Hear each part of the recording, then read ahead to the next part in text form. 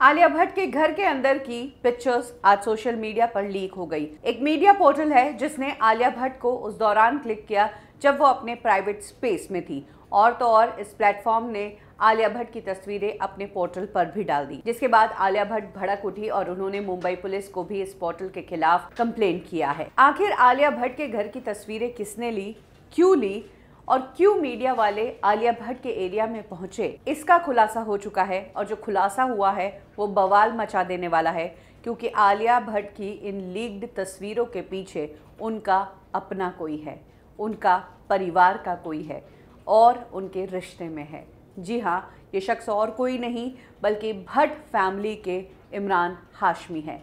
इमरान हाशमी के कारण ही आलिया भट्ट की ये तस्वीरें वायरल हुई है। रिपोर्ट्स के मुताबिक आलिया भट्ट जिस एरिया में रहती है, यानी कि बैंड्रा पाली हिल में, उस बिल्डिंग के सामने ही बिल्डिंग है जिसमें इमरान हाशमी रहते हैं।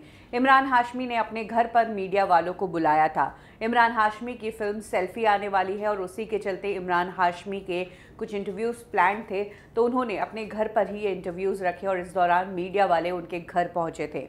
और जब मीडिया वाले उनके घर पहुँचे तो उन्होंने आलिया और रणबीर की बिल्डिंग देखी और वहाँ पर उन्हें आलिया अपनी बालकनी में चिल करती हुई नज़र आई। तो उन्होंने वो तस्वीरें इमरान हाशमी की बिल्डिंग से ही क्लिक की और उसके बाद उन तस्वीरों को सोशल मीडिया पर डाल दिया, जिससे आलिया भड़क उठी। आलिया हैरान थी कि किस तरह से मीडिया वाले उनके घर के अंदर तक झाँक रहे हैं, उनके और उनके परिवार की परमिशन के बगैर। खैर, अब तो इस मुद्दे पर बहुत बड़ा बवाल खड़ा हो गया है। मुंबई पुलिस बीच में आ चुकी है और मुंबई पुलिस ने आलिया को कॉल करके अपना स्टेटमेंट देने के लिए कहा है और ये भी कहा है कि आप कंप्लेन कर सकती है पुलिस स्टेशन आकर और उस न्यूज़ पोर्टल के खिलाफ आप एफआईआर दर्ज करवा सकती हैं।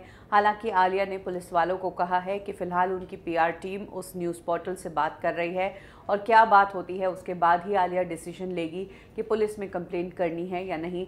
लेकिन हाँ उन्होंने सोशल मीडिया पर तो मुंबई पुलिस को टैग कर ही दिया था। तो कुल मिलाकर आलिया की इस पूरी कहानी में हाथ है इमरान हाशमी का।